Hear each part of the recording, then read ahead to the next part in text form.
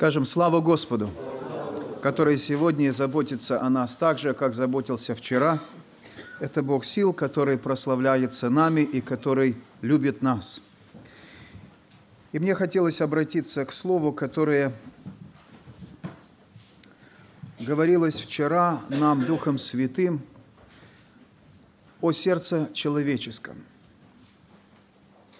Мы с вами знаем, как говорит Писание – что больше всего хранимого храни сердце свое, потому что из него источник жизни. И вчера Господь, обращаясь к нам, говорил нам о наших сердцах с вами и говорил о сердце, которое не расширено, которое сужено. Вот здесь стоят два сосуда, один с узким горлышком, а другой с широким. Емкость примерно одинакова у этих сосудов. Но если наливать в эти сосуды воду, то в кувшин с широким горлышком мы нальем быстрее. А вот с узким горлышком, даже если поток будет большой, то не так быстро нальется этот сосуд. Вода будет обтекать этот сосуд, но чтобы наполнить его, не сможет. И Господь нам вчера говорил, обращаясь к нашей внутренности, о сердце, которое необходимо расширить. Я хотел прочитать место Священного Писания, которое также говорит нам о сердце нашем. Это 118-й Псалом, 32 стих, где псалмопевец говорит такие слова. «Потеку путем заповедей Твоих, когда Ты расширишь сердце мое» потеку путем заповедей Твоих. Желание этого человека было течь путем заповедей Божьих. И еще один перевод этого места говорит таким образом. «Быстро побегу». То есть не просто потеку. Вы знаете, что есть ручейки, которые еле-еле текут. И есть горный ручеек, который может быть и маленький, узенький, но бежит очень быстро. И вот значение этого слова здесь как раз и употреблено. «Быстро побегу». К чему? К исполнению заповедей Твоих. Но когда? Когда сердце расширено. Благодать Божия, которой мы так нуждаемся, о которой просим, которую Господь дает. Но если сердце наше не расширено, то благодати туда попадает мало. Желание доброго есть, а чтобы получить, как бы нету такой возможности, и всего лишь из-за того, что сердце заужено. И поэтому псалмопевец, обращаясь к Господу, говорит, «Господи, когда Ты расширишь сердце мое, потеку путем заповедей Твоих.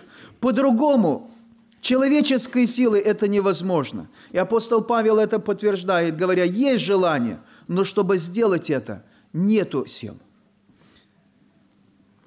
И в одном из посланий, которое обращено а, к церкви города Каринфа, есть такие слова. Это второе послание, шестая глава, с 11 стиха. «Уста наши, — говорит апостол Павел, — отверсты к вам, коринфяне. Сердце наше расширено, вам не тесно в нас, но в сердцах ваших тесно. В равное возмездие говорю, как детям, распространитесь и вы. Когда читаешь два эти послания, то удивляешься тому положению, в котором был апостол Павел и в котором была Каринская церковь, в которой были дарования. Но когда обращаешься сердцем к словам, которые говорит апостол Павел – то между ним и этой церковью было большое непонимание. И он здесь упоминает, наше сердце расширено, уста отверсты, а вот в ваших сердцах тесно. Нету той возможности обмена, той благодатью. Он призывает к тому, чтобы они а, сделали такой же ответный шаг, расширились.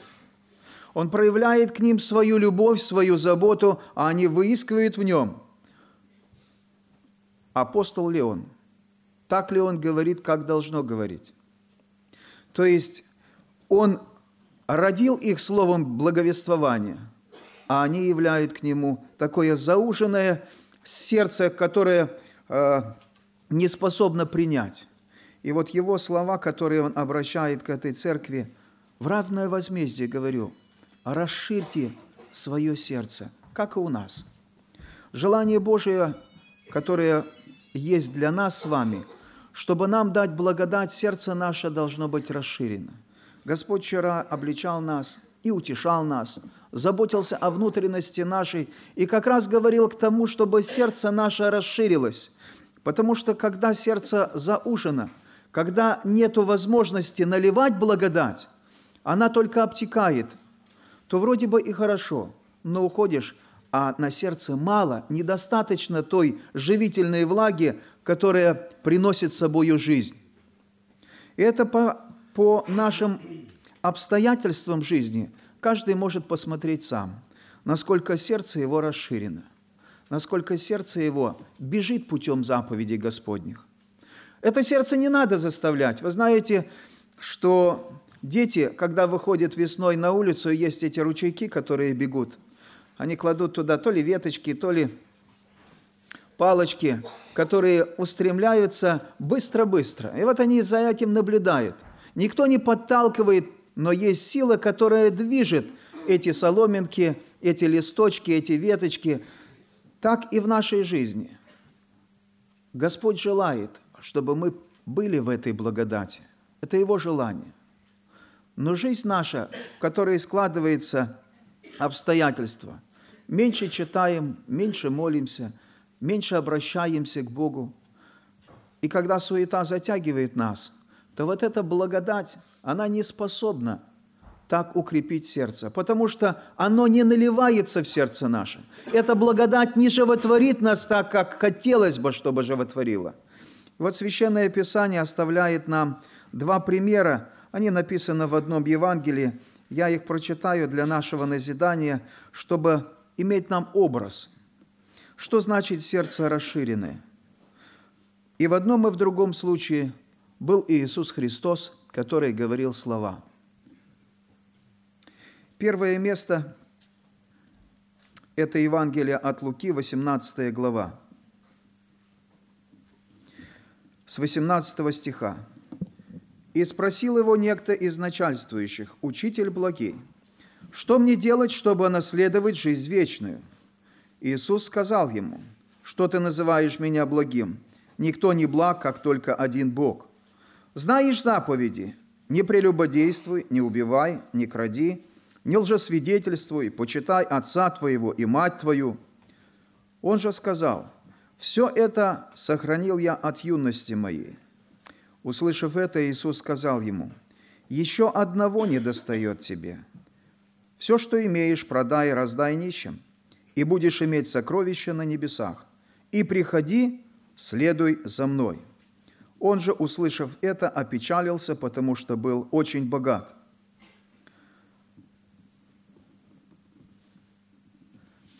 Юноша, который имел желание имел вопрос, достиг Иисуса Христа, желание было его увидеть, он увидел и спросил. Это был человек не бедный, богатый. И спросив его, как наследовать жизнь вечную, получил ответ. Мы с вами все стремимся к жизни вечной, правда? К жизни вечной со Христом. Он говорит, знаешь заповеди? Исполни их. Он говорит, это я исполнил. Это не был убийца, не был вор, а, не был человек, который завидует и посягает на чужое, не был свидетелем, почитал отца и мать. Все положительно в его жизни. Все соответствует как бы стандартам, которые заложены. Этот человек имел определенный страх и благоговение. Он имел направление к Богу, желание течь путем заповедей. И вот Господь ему говорит, всего лишь одного тебе не достает. Всего лишь одного. Вот все, что ты имеешь, поди продай и раздай нищим. И будешь иметь то, о чем ты спрашиваешь. следуй за мной. И мы читаем, что этот юноша, услышав такие слова, опечалился и отошел от того, которому так стремился, чтобы получить ответ на свой вопрос. Братья и сестры, смотрите, насколько был человек положительный, насколько аккуратный, насколько стремящийся, но посмотрите, какое сердце. И результат. Опечалился и отошел. Конечно, немногие из нас а, могут сказать о себе, что мы богаты, и мы похожи на этого человека, но ведь Господь знает наше сердце. Мы стремимся к Нему с желанием наследовать жизнь вечную. Мы стремимся и исполняем заповеди Господни. Но у Господа есть слово для каждого из нас. И, может быть, Господь и говорит в сердце нашем, еще одного тебе не достает. И это ведь благо услышать одного, не 10, не 20 пунктов, которые можно перечислить и забыть. Что же все-таки мне не достает? Тому юноше всего одного не хватило. Но его сердце не согласилось с этим. Оно не было расширенным настолько, чтобы возлюбить Господа Бога своего всей внутренностью своей, всей силой своей, всем разумением, всей крепостью, чтобы последовать за Ним. Мы с вами можем просмотреть и, обращаясь к Господу, говорить, «Господи, что мне не достает?» Что в моем сердце еще настолько сковывает меня и зауживает это горлышко внутренности моей, чтобы текла благодать Твоя – чтобы и мне течь свободно, быстро бежать к исполнению заповедей Твоих. Суета, суета ли это? Забота ли это? Стремление ли к тому, что не обогащает, а приносит печаль в жизни? Это самый центральный вопрос, который задал этот юноша и получил такой же важный ответ, потому что это и есть та первая заповедь. Больше всего – возлюби. И не получилось. И еще один образ, который нам оставлен на, на страницах Священного Писания, это, это же Евангелие от Луки, 19 глава. Потом Иисус вошел в Иерихон и, проходя через него, проходил через него. И вот некто именем Закхей, начальник мытарей и человек богатый, Искал видеть Иисуса, кто он, но не мог за народом, потому что мал был ростом. И забежав вперед, влез на смоковницу, чтобы увидеть его, потому что ему надлежало проходить мимо нее. И Иисус, когда пришел на это место, взглянув, увидел его и сказал ему, «Закхей, сойди скорее, ибо сегодня надо на мне быть у тебя в доме». И он поспешно сошел и принял его с радостью. И все, видя то, начали роптать и говорили, что он зашел к человеку грешному. Закей же, став, сказал Господу, «Господи, половину имения моего я отдам нищим, если кого чем обидел, воздам в четверо». И Иисус сказал ему, «Ныне пришло спасение дому этому, потому что и он сын Авраама». Еще один человек, который искал также видеть Иисуса. Это совершенная противоположность тому молодому человеку. Об этом человеке говорили, что он человек грешный. Мы не знаем, в чем состоял его грех, но люди говорили о нем так. Люди сторонились этого человека. Да и он не отрицал этого. И когда он услышал те слова, которые говорил Господь, написано о том, что он сказал Господу. Не Господь показывал ему, что же тебе мешает, Закхей, человеку грешному войти в жизнь вечную. Он сказал о том, что половину имения моего я отдам нищим. Это добровольная жертва его от его расширенного сердца. Его никто не мог заставить по закону сделать это. Это дело добровольное. То, что он мог сделать по закону, это как раз следующее действие. Кого чем обидел, воздам в четверо. Так предписывал закон. Взял одну, отдашь четыре или пять. Там такое. Смотрите, что получается. Этот человек половину своего имения сразу, можно сказать, вычеркнул из своей жизни. А из того, что осталось, его желание исполнить заповеди Божьи, закон его, который он оставил. Что останется этому человеку? Очень сложно сказать, что останется.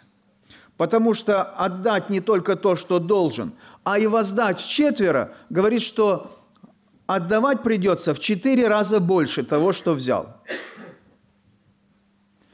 Но этот человек не смущается, что он останется бедным. Этот человек не смущается о том, как люди на него посмотрят. Этот человек не смущается того, что ему предстоит говорить своей семье об этом. У этого человека есть сердце, которое стремится течь путем заповедей Божьих. Вот эти два образа, которые оставлены на страницах Священного Писания, показывают нам, что значит сердце расширенное и сердце, в котором тесно, которое знает закон Божий, заповеди Божьи, любовь Божию, но оно не стремится туда – тому, чтобы исполнять. Какой же выход из всего этого? Как получить это расширенное сердце, братья и сестры? Это, наверное, один из самых важных вопросов, о чем вчера говорил нам Господь. О чем говорит апостол Павел? Расширьте сердце, чтобы не тесно в этом сердце было ни для других, ни для, ни для благодати Божьей, чтобы Господь мог исполнять свою волю в этом сердце, как исполнил эту волю в сердце Закея, о котором люди говорили, что он человек грешный, но совершилось его покаяние. И Господь сказал, ныне пришло спасение дому этому, потому что и он сын Авраама. Желание Божие и воля Божия в том, чтобы никто не погиб. Взыскать и найти погибшее и дать возможность спасения. Но что делать человеку, чтобы расширить свое сердце? Ведь это не физическое сердце – его нельзя расширить физически. Господь говорит о внутренности духовного состояния. И псалмопевец Давид показывает этот выход. То, что невозможно человеку, возможно Богу. Он говорит, Господи, когда Ты расширишь сердце мое, потеку путем заповедей Твоих. Желание мое есть, молитва моя к Тебе есть. Дай Твою милость, и ты расширь сердце мое, чтобы побежать мне быстро, чтобы мне не спотыкаться и не останавливаться, но чтобы внутренность моя, она исполняла заповеди Твои, чтобы утешалась Тобой, чтобы радовалась о Тебе. И поэтому, братья и сестры, хочется сегодня помолиться Господу, чтобы Он по молитве нашей расширил сердце наше, чтобы и нам с вами течь путем заповедей Господних, и не было тесно Ему в сердце нашем. И благодать Его, которую Он дает, и дает не мерою, чтобы мы не отмеряли эти маленькие стаканчики, но сделали сосудами, способными принимать всю благодать Божию, которую Он изливает. Давайте с вами, вставшие, обратимся в молитве Господу, а Он нам поможет. Ава Отче, Алфранк Румен.